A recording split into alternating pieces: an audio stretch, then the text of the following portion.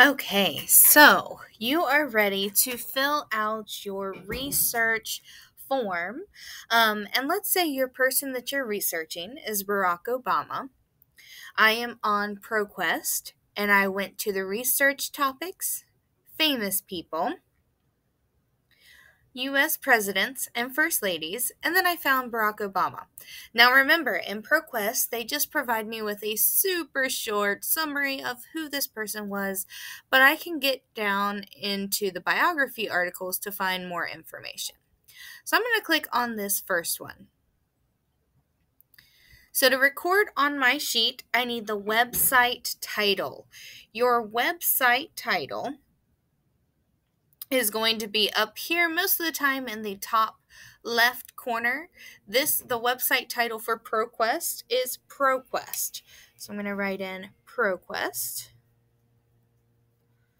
The web page or article title is going to help me come back to exactly this. So in this case, the title is The Life and Presidency of President Barack Obama. Most of the time, the title that you want is going to be right up here at the top. Not all the way at the top because this is the web page title. But this almost at the top is the web page or article title.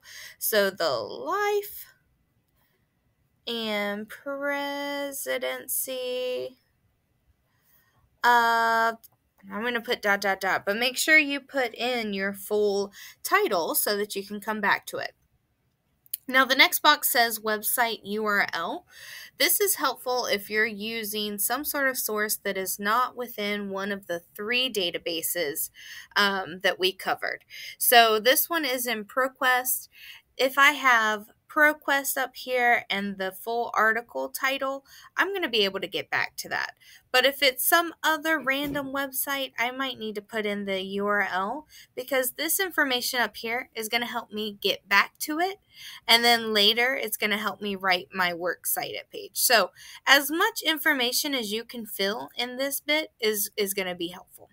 Okay, now next is author the author in ProQuest or in any of the three sources that we looked at is usually right underneath the title. So right underneath the title, I have that it's a this is a newspaper article. Um, then I have TCA News Service and a date. TCA News Service is the publisher, and so in this case, I'm going to write it here because an actual person's name isn't listed this is as close as I can get to an actual person's name. Um, so I'm going to put that here. And then it asks year published.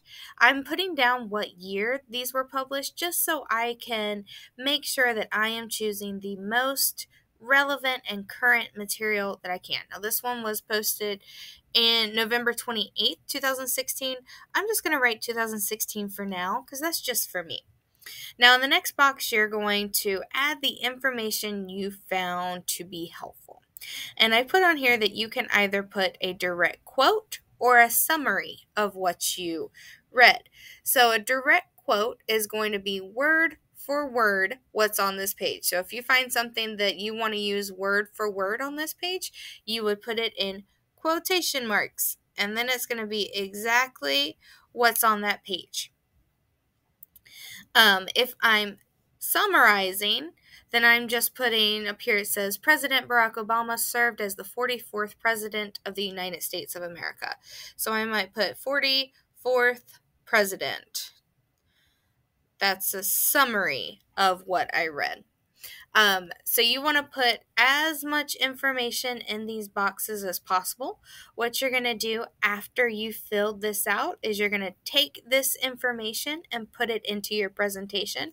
And all of this information that you collected is going to help you cite your source.